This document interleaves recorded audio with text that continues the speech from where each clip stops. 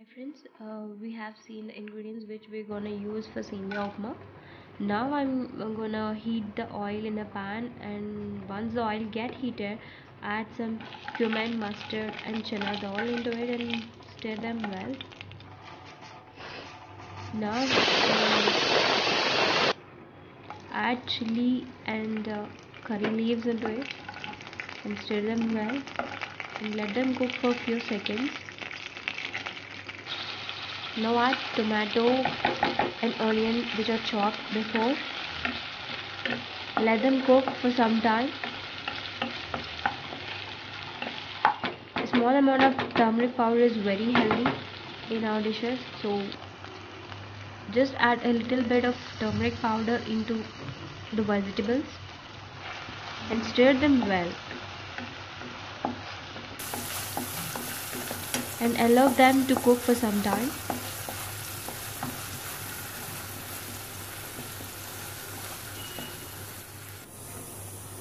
now add a one and of glass of water into it and add some salt to taste.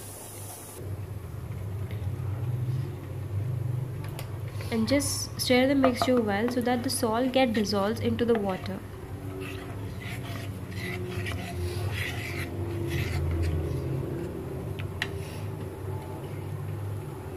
I have used this uh, small tea glass uh, for my measurements one and a for one cup of uh, semiya I have added one and a half glass water. So you can see the water is bo getting boiled down. Now it's the time to add semiya once the water starts boiling uh, the vegetables are cooked well so that you can add semiya and now the semiya it's, it's the time for semiya to cook well uh, you can see the semiya very soft once it get cooked. Now I'm adding some amount of ghee to it which gives you a nice taste and nice aroma. Stir the ghee into the mixture.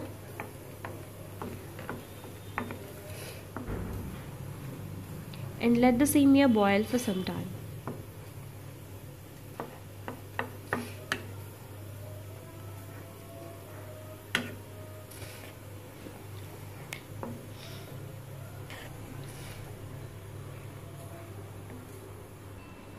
now I'm gonna take another pan uh, which has a ghee in it. I'm heating the ghee. And I have taken some cashew broken broken cashew and I'm just frying them in that ghee. Just a brownish color is enough.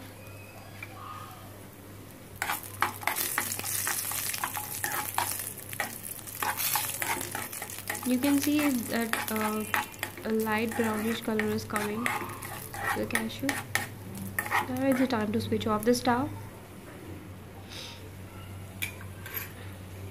and you can see my semiya is also almost cooked nicely. It's very soft.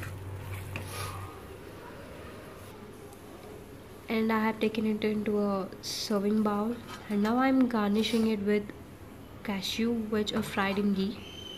And that's it. Semiya upma is ready